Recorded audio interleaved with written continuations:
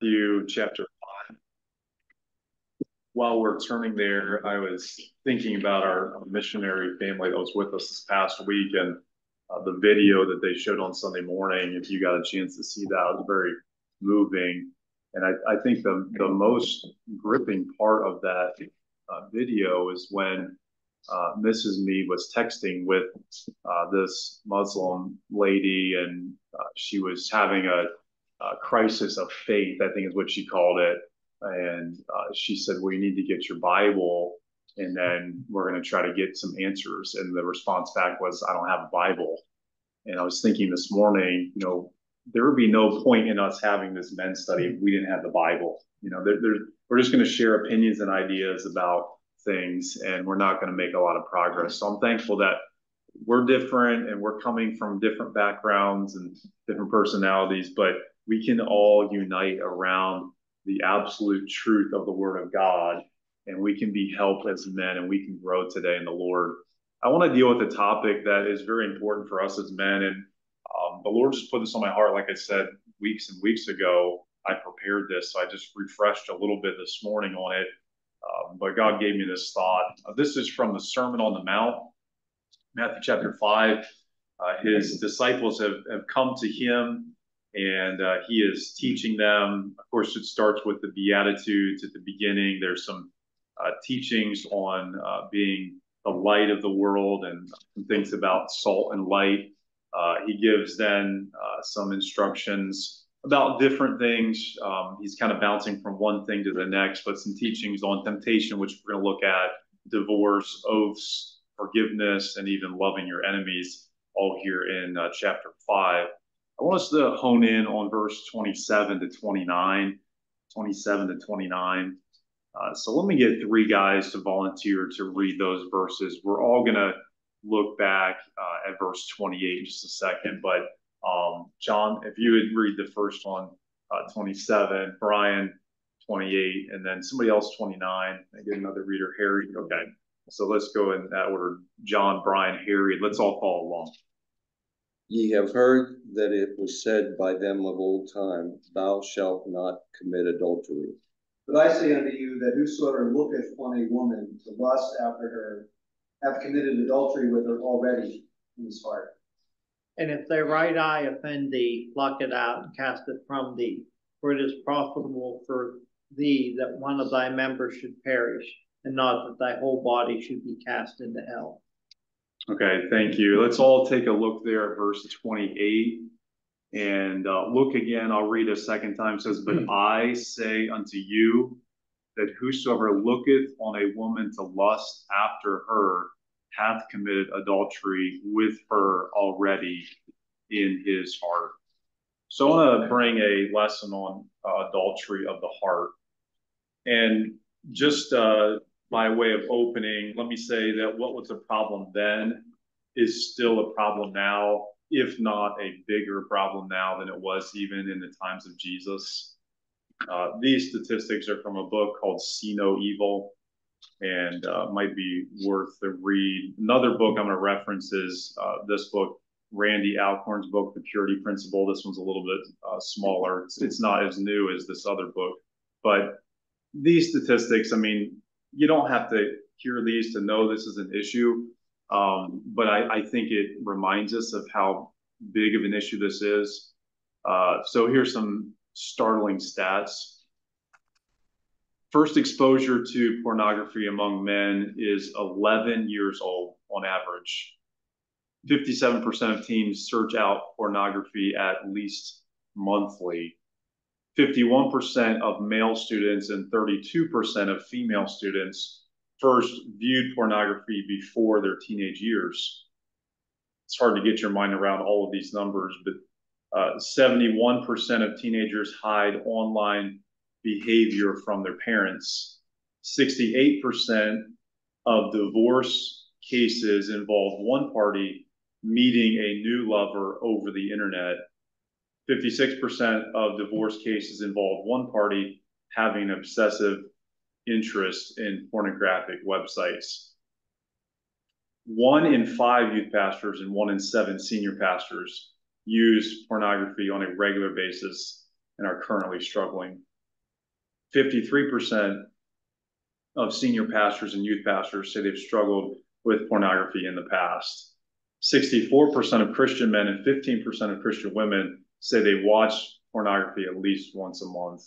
You know, and there's so many more statistics and they aren't very uplifting, but there's there's enough for us to realize this is a major, major problem uh, that needs to be addressed. And there's no shortage of resources, books, and and uh, you know podcasts and blogs that might help us with that. But I just want to remind all of us that the greatest resource when it comes to personal purity is the Word of God, and it doesn't get any better than the words of Jesus Himself, who was tempted in all points like as we are. So He faced every imaginable temptation that we could think of, yet the Bible says without sin. So he's speaking from a, a place of understanding. He know he made us as men. He knows what stimulates us and drives us as men. And so he is able to speak very clearly in just three verses. You know, the volumes of books written about this issue. And I would caution you, some books might help and some might hinder. Uh, you don't have to know everything about evil to know that it's evil. So be careful of that. I try to be careful of that. Uh, but Jesus covers the topic, he discusses the issue, and then he gives us a very clear solution. Some people are good at revealing the problem, but they have no solution. Jesus gives a solution to uh, this issue uh, that's a major problem not just in the world, but in our churches. And we're going to be faced with this either in our personal lives or we're going to meet somebody that's having a major struggle and we need to know how to biblically help this person. So we, we come to uh, a topic that is very fitting for a men's study. So I want to look at this. We're going to answer some questions uh, together, discussion questions, just two questions. The second question will have three uh, points that I'll give you on that one. But the first question, just the definition. What is adultery of the heart? So look at the verse again. Well, let me back up to verse 27 first. You've heard that it was said by them of old time. So when he says them of old time, who is he referencing here? The old timers. Who are the old timers? Mm-hmm. Yeah, Moses and Israel. And we're talking about the law and the prophets, right? And by the way, there's a lot of wisdom you can glean from the old timers. There's nothing wrong with being an old timer. There's nothing wrong with being a little bit old fashioned in our approach and our thinking. Not everything new is untrue, but a, a lot of what is new is untrue. And so it's good to understand the teachings of the old times.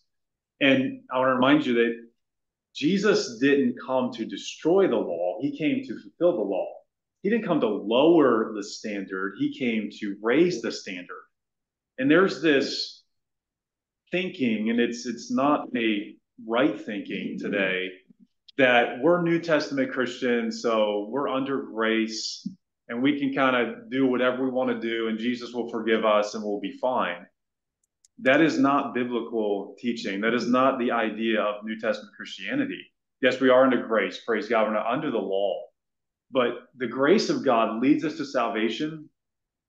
But the grace of God, according to Titus, also teaches us to deny ungodliness and worldly lust. So the grace of God teaches us to not live an unbridled, lustful life, but to live a disciplined, godly life.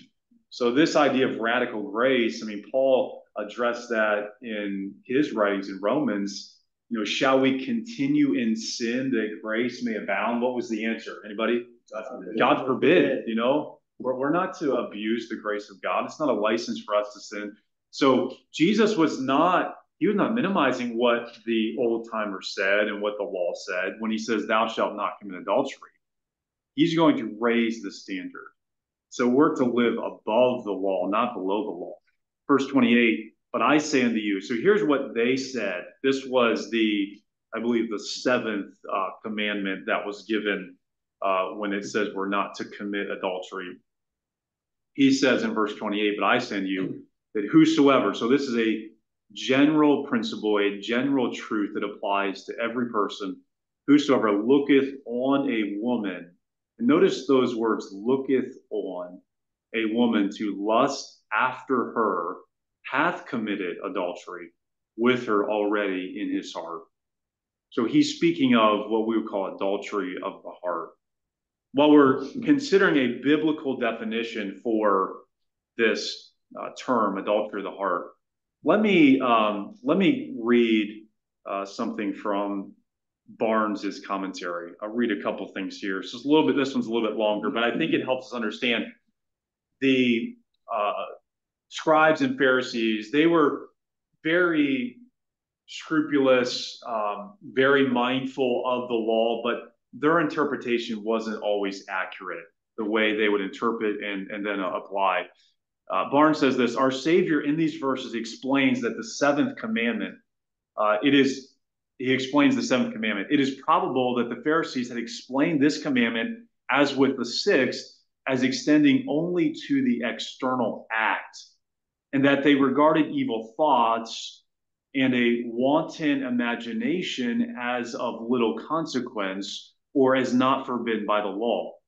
Our Savior assures them that the commandment did not regard the external act merely, but the secrets of the heart and even the movements of the eye. He declares that they who indulge a wanton desire, that they who look on a woman to increase their lust, have already, in the sight of God, violated the commandment and committed adultery in the heart. Such was the guilt of David, whose deep and awful crime fully shows the danger of indulging in evil desires and the rovings of a wanton eye. So, what would be a simple definition of this looking on a woman to lust? What is what is the uh, what's the definition of adultery of the heart? How how could we explain this or define this? Anybody I have a definition, but let me give you a chance here. All right, here's what I had, okay, and it's all else. It's a little bit of a tongue twister, all right? Uh, a lingering look. So when he says looketh on, all right, this is this is more than just looking. There's there's a second look. The second look is the sinful look. It's a lingering look. It's the idea of gazing on or staring at, turning the eyes toward, giving the mind and the thought uh, process as well so it's a lingering look that leads to a lingering look that leads to a lustful longing. Sorry, it's a lot of else, mm-hmm. but it just kind of fit. Lingering look that leads to a lustful longing. So the first look isn't isn't sin. Okay, we live in a wicked world. We know that, and uh, sometimes you, you wish that you could just live in a box or in a room and never come out because it's inevitable. You're going to see something you don't want to see. It's going to happen. But we have to learn to look away, not look on, not gaze at, but to look away quickly and, and, and ask God to take those seed thoughts out of our mind. So that's what the, the adultery of the heart, it's lingering look that's going to lead to the the lustful longing in our heart. Uh, that's what was forbidden by Christ. That's the coveting. That's the desiring. Um, let me read another statement here from Matthew Poole in his commentary. He says, The scope of our Savior in these verses is the very same as in the verses immediately preceding. He's correcting the interpretation which the Pharisees had put upon the divine law to show that he, instead of coming to destroy the law, came to fulfill it uh, as other ways, so by giving a more strict and true interpretation of it.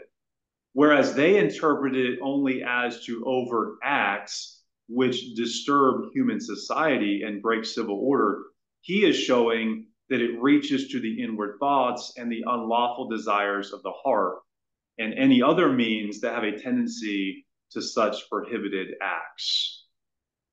I remember when I was in Christian high school, we had a health teacher, and he only taught one year, and I, I understand why. Um, some of his teaching philosophy about certain things was was not accurate, um, wasn't biblical. But I remember him teaching some things about sex ed, and he was trying to do it from a Christian perspective. But he basically told us, and I think this is what got back to the administration, that it's okay to look as long as you don't touch. And he didn't elaborate a lot, but you know, as I'm hearing as a young man, I'm thinking that's not right thinking because if you look long enough, you will want to and will eventually touch. I mean, think of the example of Achan. He was, uh, you know, he was in a place where he knew God's command, and yet he said, I saw, I coveted, then I took. That is always the progression of sin. If you focus on something long enough, then you're going to want it and you're going to eventually take it. That's the progression. So that's why Jesus is saying, you're focused on the act. I'm focused on the heart. I'm focused on the eyes. If you can guard what you focus on, then you can control your mind and you control your actions. Uh, so he's raising the standard here. I'm thankful for my dad and his uh, faithfulness to God and, and his standards of purity, uh, protecting himself, protecting our uh, our family. I remember my dad. So I played at uh, public school, high school on the basketball team, and uh, you know it was good for me. I was always out at halftime. We were in the locker room, and even at that point, the halftime show is not something that Christians should watch uh, with our cheerleaders. And so my dad would always go out for a snack. You know, it was like, yeah, I'm going out to get a snack. I don't know if he ever got a snack, but he would excuse himself because he didn't want to be in a place where he would see something. And, you know, I appreciate that example. We were just at a basketball game, uh, the Mars basketball game on Tuesday, and we did the same thing. It was like, yeah, we're going out to get a snack, you know, because I don't want to be in a position where I'm going to see something that could lead to what Jesus is warning up here in this passage. So we have to be proactive and recognize what we focus on will impact our minds and ultimately what we do. Uh, here's a couple verses I want to point out before we move into the more practical side of this. Let's go back to the book of Job and let's go to Job 31 1. Job 31 1. We understand from chapter 1 that Job was a just man, perfect uh, in his ways. Not perfect as in sinless, but he was sinning less and less. He was a man of integrity and honesty and purity. He eschewed evil. Uh, he didn't. He didn't uh, mess around with evil. In 31 1, he says this: "I made a covenant with mine eyes. Why then should I think upon maid? So he's saying, I made a covenant with my eyes that I would not set anything wicked. David talked about that, not setting anything wicked before his eyes. So he made a covenant. I'm not going to look because if I look at that, then I'm going to start to think about that. And if I think about it long enough, then I'm going to do it. So he made a covenant, and all of us ought to make a covenant. Uh, there's uh, a resource, a Christian resource out there uh, it's called Covenant Eyes. I think it goes back to this verse. And if you're having trouble with internet um, issues on your phone or computer, it might be well worth the investment to get Covenant Eyes on there to provide accountability and protection for you because uh, it's just so available today. Uh, but he talks about the the eyes. Go back to 24, 15, Job 24, 15. interesting statement here. He says, The eye also of the adulterer waited for the twilight, saying, No eye shall see me and distinguish, or dis- and he disguiseth his face. So it's the eye of the adulterer. He doesn't talk about the hand. Uh, he doesn't talk about other things. He just says it's the eye. It always starts with the eye. And uh, he understood what Jesus is preaching here in the Sermon on the Mount. And we need to understand that as well, that men are visually stimulated. So uh, we have to be so careful. We need to encourage our wives to be careful and have an understanding of this as well. That no Christian wife should be seeking uh, the eye of anyone but her husband, and that's that's very important. It kind of goes both ways. Men have to guard their eyes. Women have to guard what they wear or don't wear. Uh, we live in a culture that's undressing in public and not feeling any shame about that. It's a ma- major issue. So uh, we have to understand where it begins. Uh, the seeds of adultery begin with the eye and the heart. So that's a definition, maybe not the only definition, but the lingering look that leads to those lustful longings. By the way, um, from the book of James, lust is not sin. Uh, lust is a desire. It can be a good desire or an evil desire. Lust is what leads to sin. Uh, temptation and lust together will lead to sin, but but having a desire uh, doesn't necessarily mean that that's sin. Uh, there's a desire within marriage God gives to us, and that's that's where it should be. But when it's outside of marriage, is when uh, that becomes an evil desire. So that's the definition. Now let's move into the practical side. We understand this is a problem. We don't have to look at much of the statistics to understand this is an issue in our world, in our culture, in our churches, and maybe even in our own lives. This is this is every man's battle. This is not a this is not a battle that we're going to win until ultimately we're with Christ. It's a battle we're engaged in. It's not something we win and it's done and now I've been delivered from lust and evil desires. This is an ongoing thing that we must face uh, as long as we're in this flesh. So uh, we understand the the situation, we understand the danger, uh, we understand what Jesus is saying. But how then do we get victory over this? Christian had shared uh, a podcast with me, and it was it wasn't just about this issue. It was about self discipline in general, and it covered some of these things too. But uh, the host of the podcast was sharing some personal experiences. He had a young man came to him, some struggling with pornography, and the host said, "Well, you know, what's your plan to get victory?" And he said, "You know, I don't really have a plan." He said, "I'm just going to try to focus more on the grace of Jesus, the forgiveness of Jesus. No matter what I do, I know He'll forgive me." And this man gently rebuked him because he said, "That is not the teaching of the New Testament. Mm-hmm. That Christ has called us to purity, and it is very difficult, but it is not impossible."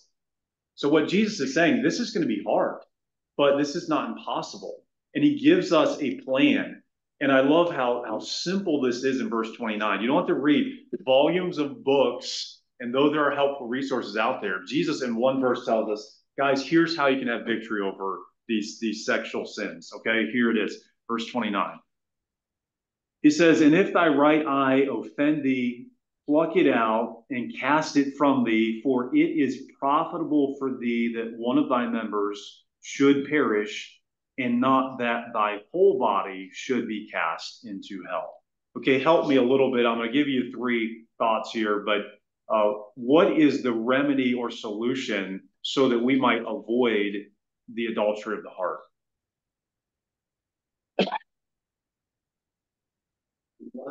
Yeah. Blind. Hey, that that would solve a lot of issues, right? Uh, the Pharisees had uh, different ideas about this, and there was a group called the Bleeding Pharisees. I mentioned them before, and they were they were bloodied because they would always walk around blindfolded because they didn't want to see something that might cause them to sin. I don't know that we need to go to that measure, but sometimes you almost think about it, you know.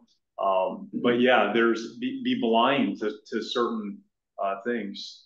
Anybody else? Andrew? I mean, one, it shows the severity, you have to understand the severity. And I do think, I mean, I've looked at this passage a lot of times. I think there's probably, it's sad, there's probably gonna people in hell who are gonna say, I wish I did cut my eye. Um, but the other practical point here would be, you can't, instead of casting your eye out, casting that thing, goes back on the plan. Yeah. Casting that thing out. For, you know, I have covenant eyes. Yeah. I think it's Yeah. fantastic. Yeah. My wife has access to my phone. Yeah. And I want my son to have access, or to have covenant eyes too. And, you know, we'll have accountability. But I took that thing, whatever it was, and I cast it out. I, I don't have access to it. And I think for me, reading that passage, that's what it is. I'm not gonna cast my eye out at this point, right? Yeah. I'm not casting anything that could be a possibility. Yes. Yeah, uh, let me read just a statement on that, um, if I can find it here. Yeah, my, uh, oh, here it is. Um, no, it isn't. anyways, I wasn't meant to read it, but I think the, the idea Andrew's saying is we're not, we're not talking about a literal, uh, plucking your eye out, you know, that, I mean, if I guess if that's needed, but I don't think that's the idea of what Jesus is saying here. But he's saying, first off, let me go back to the the uh, letter A. We are required, if we're going to avoid this sin, we're required to identify what I would call trigger points. So you gotta you gotta understand, okay, what is causing the offense? The the word offend there, the Greek is scandalizo. We get our English word scandal, uh, scandalous from it. So it's to entrap, to trip up, to stumble, to cause to sin. So we have to, have to identify what are the areas in my life that are causing me to have thoughts or maybe leading me into a place of temptation identify those so it's going to be different for uh, different ones based on your schedule and where you work and where you shop and your family dynamic i mean all those things it's going to be different but you have to identify in your life what are the trigger points and the, the right eye was the readier and dear of the two. Uh, but this man here says it's it's my right eye that's causing me to stumble. I heard about a missionary, or maybe it was just an evangelist, but when they would travel, they were in hotels a lot, and they were by themselves, and they recognized that the TV was a stumbling block, that there wasn't accountability, and you know you're going from one channel to the next, and there would just be that temptation. And so they reached a point. They said, you know what? If I'm going to watch TV, it's only going to be in the lobby. That I'm gonna, I'm not even going to turn the TV on. And they made that covenant with their eyes to reduce that amount of temptation. And identifying those trigger points is very important. Heard a message on King David, and of course, you know we've already mentioned him this was an issue that it, adultery of the heart became actual adultery and led to other sins but the message one of the points was we have to guard our vantage points so from his elevated position in uh, david's castle he could see things that other people could not see and he did not guard those vantage points and that's what led to uh, the adultery in his life so we have to identify trigger points. Um, I guess I'll, I'll, move to this illustration from this book, and I've read this before, so forgive me, but I think it it helps. It's called Wise Strategies, Chapter Six of this Purity Principle. Randy Alcorn says, imagine someone whose weakness is eating donuts. Do you remember this one? Anybody? The donut example? All right, I, I like donuts, and I sweet too, so I can identify. His doctor says no more donuts. He vows to God no more donuts. He promises his family, no more donuts. He calls the church and gets on the prayer chain. He even goes to a donut deliverance ministry to have the demon of donut desire cast out of him. He has a lot of these. Here's a guy who means business, right? But then what does he do? Well, he's like a lot of us. He goes right on reading about donuts, listening to donut music, watching television programs about making donuts, he spends his time with other donut lovers talking about donuts. He jokes about donuts at the office, where he often glances at the donut calendars on the wall. He looks through the newspaper for donut coupons and subscribes to Donut Desires with its gloss color photos. It's not long before he's driving a long way to work that just happens to go by a donut shop. He rolls down the window and he inhales Pretty soon he's buying the morning paper from the rack right outside the donut shop. He, this guy has quite the imagination, doesn't he? He's lingering just long enough to check out donuts through the window. Then he remembers he has to make a phone call and hey, what do you know? The donut shop has a pay phone. And since he's there anyway, why not have a cup of coffee? Now remember, this man has no intention of breaking his vow and eating donuts, but the totally predictable and inevitable result is what? that he will give in and eat donuts. And can't we hear his sad lament? What went wrong? I prayed. I asked others to pray. I asked God for deliverance. Why try? I give up. You do your best and look what happens. The problem here with this man is he has either not identified or not got serious about the situation. I was uh, listening to a sermon the other day, and the pastor said something similar about donuts. He said there was a guy that was uh, praying, God, if if you if you, uh, you know, don't want me to eat donuts, then don't make a spot available at the donut shop. And he said, his pastor said, you know, I drove around eight times and eventually there was a spot open, so I it must have been God. So anyways, trigger points. You've got to know you and, and know what triggers those things in your life and what's going to cause you to stumble. Now, the second thought here I want to give you is along the same lines. We have to become radical in our approach, radical in our approach. Uh, my parents, my dad grew up in a Methodist church and my mom grew up in a Baptist church. And they got married and they uh, were trying to figure out where they wanted to become members. And God led them to an independent Baptist church. And I grew up at the Mansfield Baptist Temple. And I remember my parents talking about the time that they gave up mixed swimming.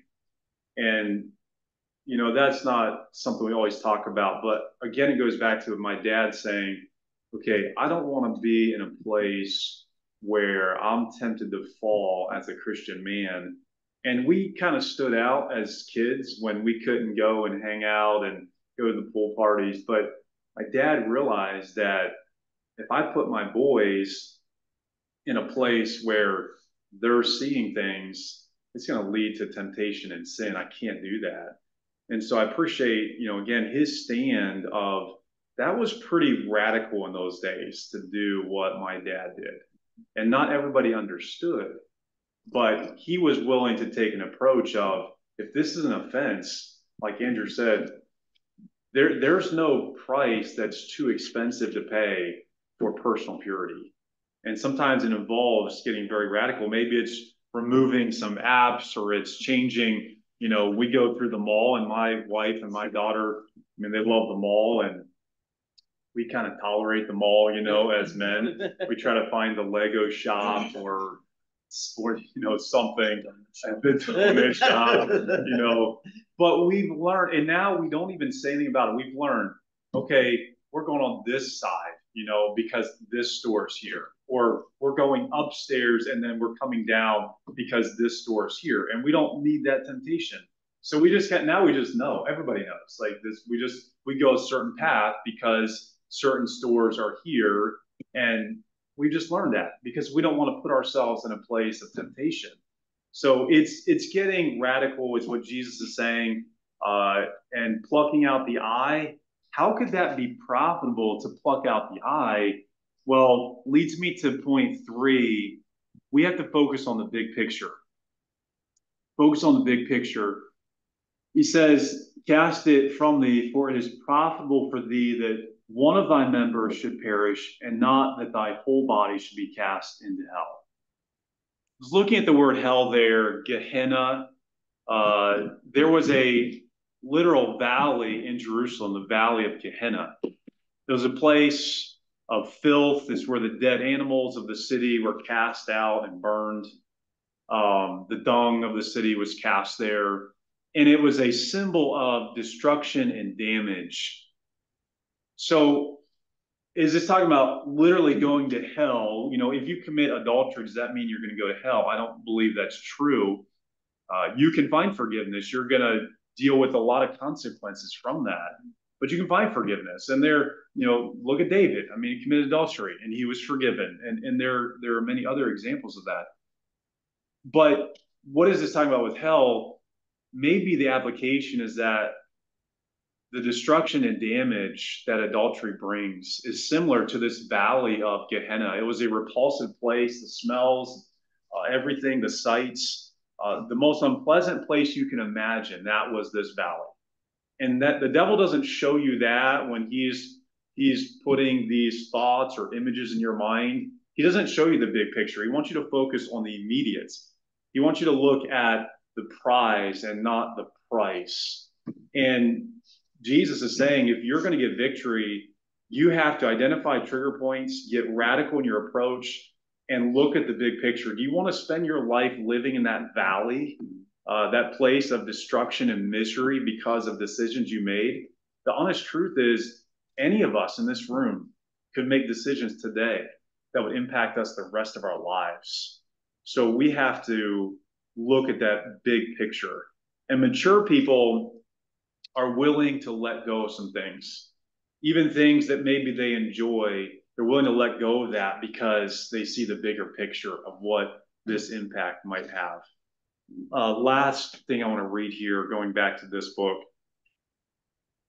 Uh, this is in uh, the last chapter, chapter 10 confession, accountability, and counting the cost. So, counting the cost, he says that uh, he had developed a list of consequences that would result from immorality. And he said periodically he would read his list until he memorized it, and it would cut like a knife through the fogs of rationalization. He said it filled him with a healthy fear. So the list is what would my adultery do? Here's the list. One, drag in the mud the reputation of my Lord. Number two, make me to have to look in the face, in his face one day and tell him why I did it. Next, cause untold hurt to Nanci, my loyal wife and best friend. Forfeit Nanci's respect and trust. Permanently injure my credibility with my beloved daughters, Karina and Angie. Bring great shame to my family inflict hurt on my church and friends, especially those I've led to Christ and discipled. Bring irretrievable loss of years of witnessing to relatives and friends. Bring pleasure to Satan, God's enemy. Possibly give me a sexually transmitted disease, posing a risk to Nanci. Lose my self respect, discredit my name, and invoke lifelong embarrassment upon myself and the list could go on and on. But that's a person that is focusing on the big picture. And I think that is a wise thing for all of us to do if we're going to avoid this specific sin. I know this is kind of a heavy topic, but I think it's something we have to come back to often as men. And it helps us if we're in this together, we're fighting the same fight. And you might need accountability partner. Uh, I remember having a conversation with a pastor he and I had just found out about another pastor that had fallen into sin. And he said to me, he said, Nathan, the only solution to this increasing epidemic of immorality is increased accountability. We have to increase accountability. And as Andrew mentioned, you know, that starts with if you're married, the accountability of your wife. Uh, my wife checked; she can get into all my inboxes. She reads all my texts. Um, you know, I don't, I don't hide anything from her. She can, whatever she wants to look at, she can look at it. I don't clear my history. I can't clear my history. You know, there's a lot of safeguards because I don't, I don't want that possibility, that temptation. So a wise person increases accountability. We all need that. And I want to encourage you, if you're struggling with this, um, seek out help, admit your needs, uh, get into God's word with somebody else. Just be open and honest. That's where where it starts. And I think that uh, God will He'll allow us to see victory in these areas. Pastor, can I share Mhm. testimony? Absolutely. I was single until I was 44 years old. And as you can imagine, as a red blooded American man, I struggled with the same things that everyone does. And um, I tried all of the, you know, the, the discipline, the self discipline, the self flagellation, the accountability, all that kind of stuff. And, um, you know, it's, it, it goes so far. But what I learned, I, I see here in this passage, it's such a good passage, you know, in verses, verse 28, Jesus is talking about the, the looking at a woman to lust after her. But he says earlier in verse 8, blessed are the pure in heart, Mhm. for they shall Yep. see God. And I think Yep. what I learned is that I was not valuing the satisfaction in God and Christ highly enough. Um, book of First John, John says, um, everyone who has that hope, that hope of seeing Christ, purifies himself as he is pure. Mhm. And to me, that's that was what became the solution. I'm not saying that I that I, I stand here this Mhm. pure as the driven snow, Yeah. strong as an oak, man of God that never has a wayward thought. But the solution is, uh, I found a, a there's a quote from a pastor named John Piper. He says, A passion for God's infinite value will sever the root of all Judas joys. Mm, And so what I began to do as a single man with no one in my home to keep me accountable, part of my faith journey was desperately running to the scriptures every morning to find my joy in Christ so that for the rest of the day, my satisfaction would be there. Amen. and all those other temptations just began to just began to fade and pale in comparison because I knew that it would not ever even if I could have whatever I wanted in that sinful direction, it would not mm-hmm. come close to the satisfaction I had in Christ. And to add to that, it's unrealistic to think that your spouse can fulfill every desire you have. God did not design marriage to be that. We complete each other and we help each other, but your spouse is never to take the place of God. And Jeff is married now. and Praise God for that. It's wonderful. But Wendy is not to replace God in his life. If our spouse replaces God, that's an issue. Our mm-hmm. spouse is now our idol. They become our God. So that's those expectations must be lowered. And but that well said. I, and I love the tie-in with the with the earlier thought about pure in heart. That's the opposite of the polluted in heart is the pure in heart. Um, that's that's great. Somebody else want to add to that? We got a few few minutes here, Christian.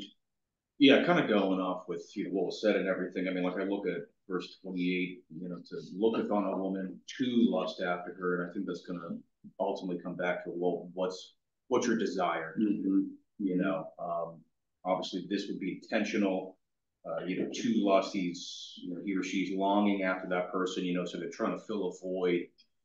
Uh, you know, something that they don't have or they're, you know, or that they're not keeping on um, after. Um, you know, I mean, it kind of reminds me of Paul. Different situation. I mean, he's going through persecution and uh, suffering. It's not necessarily, you know, lusting or, or you know, or anything else like that. But to, you know, but his ultimate goal was to have that joy, but it was a continuous joy. You know, I mean, it wasn't at the end. I'm going to get joy at the end, but I'm going to maintain and sustain this joy, even, you know, for example, as as I'm going through persecution. So I think we can have the right desire and get that joy, uh, you know, from God, and then maintain that, sustain it, and then our eyes, Yeah. hopefully, we're going to be looking away. Yeah, yeah. Thank you, Christian. Anybody else have a comment on that? Thank you. Uh, first, thank you very much. This needs to be talked about. I mean, just talk about a lot. The statistics themselves, and it's easy to shy away. I, I've spoken on it before, and it's like before God was prodding, I'm like, you sure you want me to go there? It's like, Yeah, yeah, I want you to go there. Everyone, you know, we need it. Yeah. Um, but, um, I wanted to take what you said, and I agree with all of it, and maybe just add a little bit of extra application. You mentioned how you look at something, think about it, and then you do it. Very true. But it's very possible to look at something, want something, and never actually do it, it's still just as wrong. Mhm. And adultery of the heart without physical adultery Yeah. is still just as wrong. And if nobody ever knows about it but you and God, Yeah. there are consequences. And it affects your relationship with God, and it'll affect your relationship with your wife. Even if she doesn't even know, she'll know something's different. Mhm. And uh, so it's just, you know, what Jesus says, you look at a woman less after you commit adultery in your heart. That's all you ever did, no physical. You are still wrong. Yep. And and I just I love that point, Jeff, that you made. Satisfaction in Christ. Mhm. It is so true. Nothing compares Yep. to that sense. Yep. Yep. So just basically chiming in. That's- Yeah. Yeah. And then. Anybody else? Give you a moment and we're gonna pray. Yes, um, years ago, I read a book, and I can't remember the author, but it was called Every Man's Battle. Yeah, yeah. And, uh, it was about dealing with pornography and those kinds of things. And one of the solutions that it was putting forth is when you're out in public and you see something that could be temptation, it used the term bounce, Mhm. Mhm. look away. Yeah, yeah. And, um, Yeah. then it's not going to be a, a lingering Yes. look. Yes, And, um, right. you know, I don't know if that's a total solution, but it's, uh, Yeah. it's a first step, I think. Yes, yeah, and training yourself, you know, it's muscle memory. You're training your eyes to look away instead of looking toward. And I think the more you do that, the more that your eyes will will turn away. Yeah, that's a that's a good thought. Before I was married, my best friend had been married for a long time and he, he was always beating the drum and, and whenever he knew I was getting married, he, he was trying to prepare me and coach me. He says that what he tries to do all day long, I, I starve my eyes from my wife. Hmm, it's good. So when I get home, she's Yeah. just like a breath of fresh air. Yeah. Yep. That's good. Yeah, those are all helpful terms. I wanted to make a quick comment. Oh, you're fine. Um, Yep. It's amazing how the devil um, looks for an opportunity, Mm-hmm. you know? And it doesn't have to be this hardcore as for other. Yeah. So I spend a lot of time on my bike. That's what I do for cardio. And either because I'm lazy or I don't have enough time, I spend a lot of it on rollers, which is in my basement, looking at the wall. And Yeah. to avoid the boredom, um, I have Netflix, Mhm. right? So I watch a lot of Netflix because I hate cardio typically. And, You know, it's amazing how many movies I watch, the amount of time on my bicycle and not watch it anymore. Yeah. That, you know, crazy Yeah. movies are Right. but it's almost, it's hard to find Yeah, it's impossible. Yep. anything, know. you know, know. and, Yep. and you know, it's amazing the devil knows my situation. Yeah. Yeah. You know, I hate cardio. So it Yeah. it's very subtle. Yes, it, Very it is, it is, it's everywhere, yep, yep. And that's an example of you knowing your situation and your battle. it's the same battle, but it's, it's specific to your schedule. And so you have to, how can I protect myself in, in my schedule? What can God, and, and there's always a solution. There's something that God will show us to help us with that.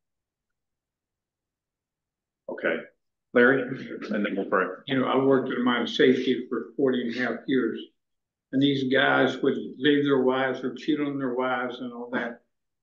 I've never seen a, a woman that has compared to my wife as that I want to be with or any of that, you know, it just, uh, Yeah. when I'm away from my wife, I can't wait to get home. Yeah, You know, yeah, you I know know. that. Uh, but, uh, I was telling her yesterday, I, had made fish for supper and I said, you know, you rate just a little bit above. a fish." But I, I just don't understand, Yeah, man. Uh, I, I really don't. A, a lot of them have good, good wives. And, uh, I worked with a lady younger than me, right beside of me for probably twenty years and ain't no way I've seen anything that, Mhm. You know. I, I just don't understand men. Yeah. And I get women are the same way too, you know.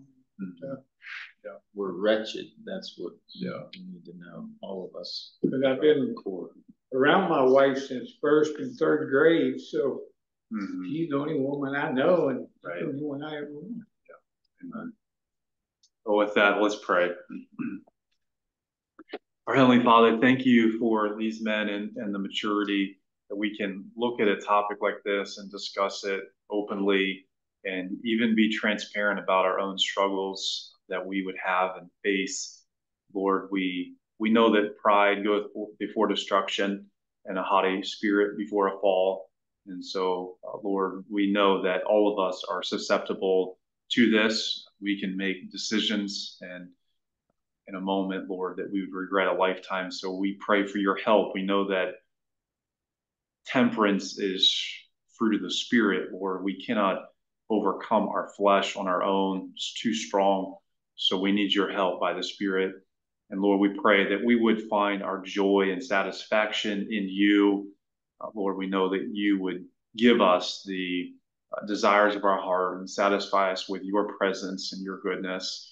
Lord, I pray that we would uh, be protected and vigilant, guarded. Uh, Lord, help us to uh, evaluate not only our decisions, but how they impact our families, others.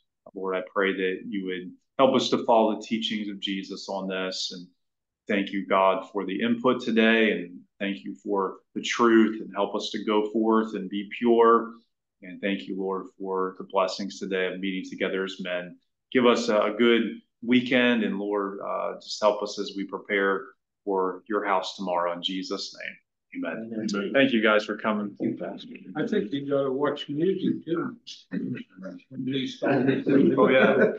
Yeah, right. They've, they've got one real negative about God. And you